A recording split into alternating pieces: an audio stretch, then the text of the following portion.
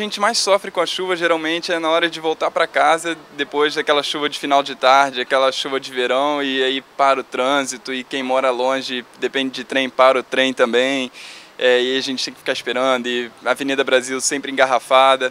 Pô, chove, pinga uma gota aqui no Rio de Janeiro, pô, trânsito na mesma hora, na mesma hora. E eu falo isso do ponto de vista do trânsito mesmo porque é, é realmente um incômodo, porque você ficar quatro horas preso, parado sem poder sair do lugar, vontade de largar o carro e sair andando, não é nada confortável. E... Isso prejudica, principalmente na questão do trânsito, do deslocamento é, e a questão da, da, energia também, que costuma ficar sem energia, é o, é o, principal transtorno. Eu sei que diante do que a população carioca passa é, é irrelevante isso, mas essa parte que me afeta diretamente. Perto da minha casa, a SEDAI abriu uma cratera para fazer um reparo e depois não fechou o buraco e a cada chuva o buraco aumenta mais.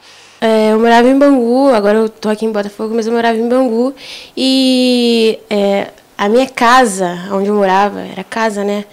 Tinha um, um rio na frente que é, sempre jogavam entulho, essas coisas, e quando choveu, choveu muito, foi chuva de verão, e aí o rio encheu e a minha casa ficou toda alagada. Tinha água até a metade da minha coxa.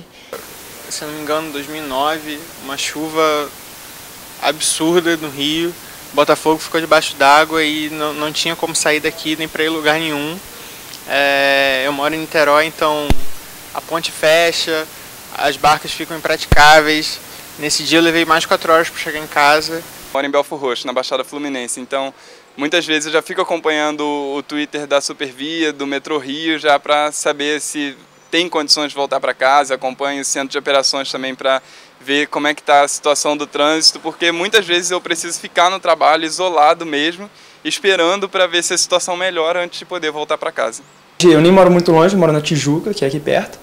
Só que a primeira coisa que é atingida lá, pelo menos na minha opinião, é o trânsito da última vez, na realidade, dois meses atrás, agora comigo, eu tava saindo aqui da Eco, já tava voltando para casa, aí eu peguei lá pelo Santa Bárbara e começou a chover já lá, e começou a chover muito, muito, muito, muito, muito.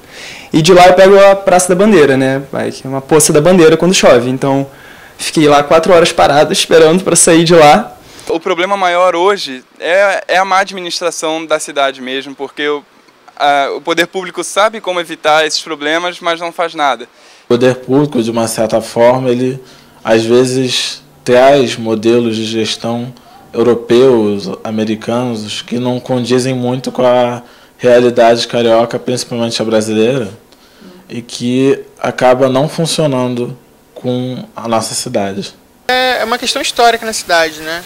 É, pela geografia da cidade, é, as alterações que fizeram, a destruição dos morros, o solo é muito permeabilizado, né? É, então é uma questão histórica, acho que não adianta culpar o governo atual, é, que tem sua responsabilidade, é, mas é uma questão histórica mesmo. Acho que a solução seria trabalho sério, seria as prefeituras é, contratarem estudos sérios da universidade, tem tantas universidades boas aqui no Rio, a própria FRJ é uma delas, então se a prefeitura fizer um trabalho em parceria com as universidades, fizer um trabalho sério para corrigir os problemas, eu acho que eles podem sim ser corrigidos. Um exemplo que eu tenho visto agora, que pode ser uma solução para chuvas, é que a, tem sido construído na Praça da Bandeira containers subterrâneos que, quando ocorrerem alagamento, eles recebem essa água em excesso para justamente diminuir o volume de água na rua. Por exemplo, agora está tendo obra lá que eles estão querendo fazer aqueles, aquelas fundações internas assim, para entrar água e tudo mais.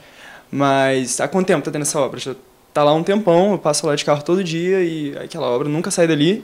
De olhar mesmo, principalmente pelos lugares mais afastados, os lugares carentes, onde as pessoas é, têm pouco. É, tem pouco cuidado, onde o poder público tem tido muito pouco cuidado. Essas pessoas são principalmente, são principalmente elas, porque são as que mais precisam e as que mais sofrem quando essas chuvas vêm, entendeu? Tudo bem, parte da população também tem que ter um, uma atenção especial com lixo, principalmente, né? Porque eu vejo isso também em alguns lugares. Sempre que chove, você vê lixo boiando por aí, então já tem essa, essa falta de atenção, mas também acho que é uma função do governo conscientizar essa população, mas sobretudo a infraestrutura. Porque a falta de infraestrutura no Rio, principalmente do ponto de vista do trânsito, que é o ponto de vista que eu mais sofro em relação à chuva, é, é, é nítida. É uma questão de investimento público mesmo, não, não, não tem saída. É, os piscinões que estão fazendo na Praça da Bandeira, é, uma série de outras intervenções é, que tem que ser feitas é, com estudos técnicos mesmo, até porque são investimentos altos que, que tem que ser precisos. Né? Então é, é, a principal saída. Acho que não adianta é, Fundação Cacique Cobra Coral, nada nesse sentido. É, tem que ter uma análise, um estudo técnico mesmo, para fazer os investimentos que, que tem que ser feitos.